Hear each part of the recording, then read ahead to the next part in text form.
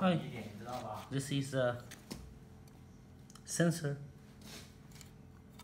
of the unit.